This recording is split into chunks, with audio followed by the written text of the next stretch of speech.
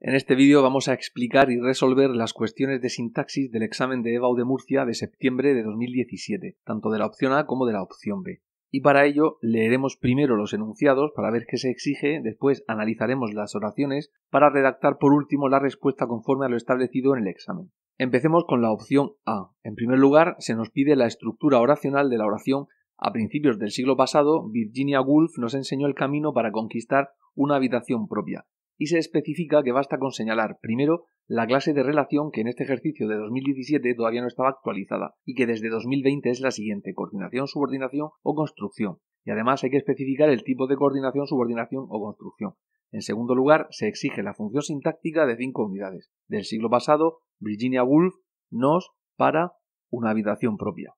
Antes de responder, salvo que tengamos pericia en el análisis, es recomendable analizar la oración en el folio de borrador.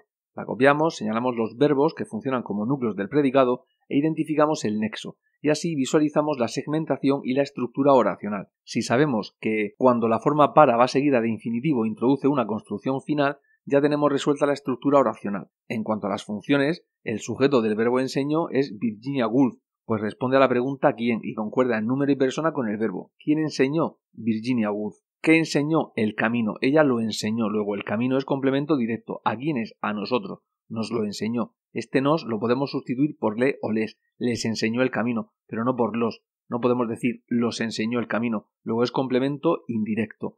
Si preguntamos ¿cuándo nos lo enseñó? La respuesta nos dará el complemento circunstancial de tiempo, a principios del siglo pasado grupo preposicional en cuyo interior hay un complemento del nombre del siglo pasado que a su vez contiene el modificador nominal pasado. Por su parte, en la construcción tenemos el grupo nominal una habitación propia, cuya función sintáctica es la de complemento directo, ya que responde a la pregunta qué y se puede sustituir por la, para conquistarla.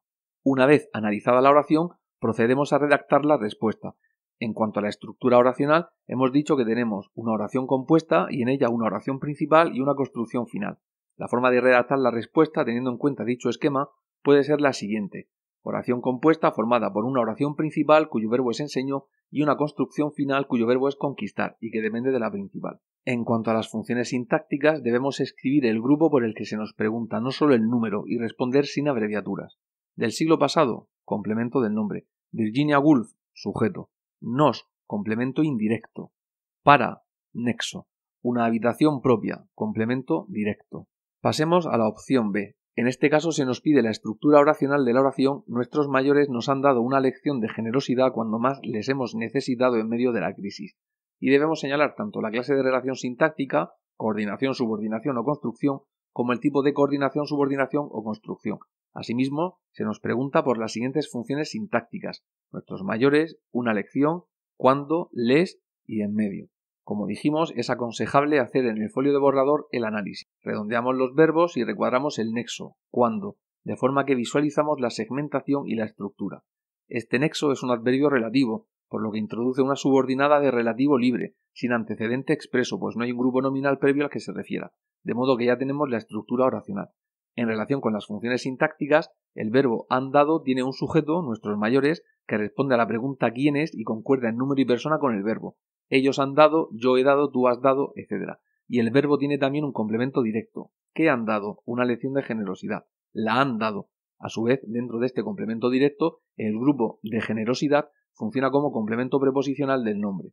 Por su parte, en la oración de relativo, el adverbio relativo cuando funciona como nexo, por introducir la subordinada, y como complemento circunstancial de tiempo. El adverbio más, que responde a la pregunta cuánto, funciona como un complemento circunstancial de cantidad. El pronombre les, como lo podemos sustituir por los y se mantiene el sentido, es un complemento directo. Les hemos necesitado, los hemos necesitado. Y el grupo en medio de la crisis es un complemento circunstancial de tiempo, pues responde a la pregunta cuándo. ¿Cuándo los hemos necesitado? En medio de la crisis, con la peculiaridad de que en medio es una locución adverbial y por tanto se trata de un grupo adverbial, no preposicional, y en consecuencia el grupo de la crisis funciona como complemento del adverbio. Una vez hecho el análisis, en caso de que lo necesitáramos, estamos en condiciones de redactar la respuesta. En relación con la estructura oracional, hemos dicho que tenemos una oración compuesta con una oración principal y una oración subordinada de relativo libre sin antecedente expreso. Así que podemos redactar la respuesta en los siguientes términos. Oración compuesta formada por una oración principal cuyo verbo es andado y una oración subordinada de relativo libre sin antecedente expreso en función de complemento circunstancial de tiempo cuyo verbo es hemos necesitado